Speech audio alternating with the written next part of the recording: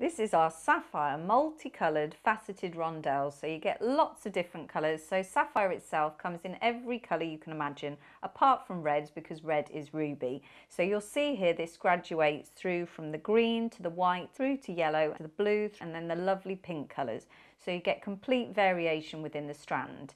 Uh, the beads themselves are about 4 by 2 millimetres they are faceted by hand and uh, the strand costs £49.50.